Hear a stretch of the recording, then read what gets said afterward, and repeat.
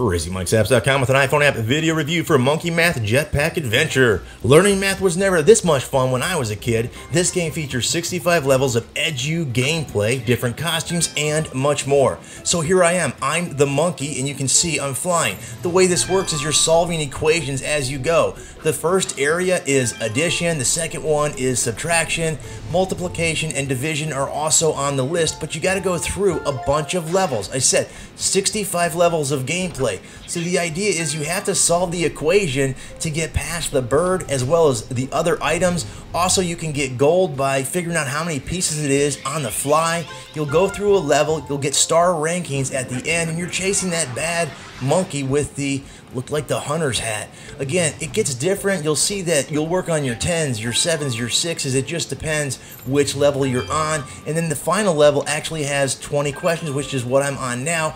And it's a variety of all of the different numbers that you worked on during all of the levels in that area.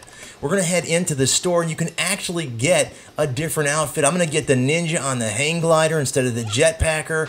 You can be a pirate and some other things there. So now we're into subtraction and we got bees to take out. Sometimes even for me, I had to count quickly, and you know, I'm kind of an old guy, so my brain doesn't work as fast as it used to. Like here, you got to count all those up, tap the number 10 to get them.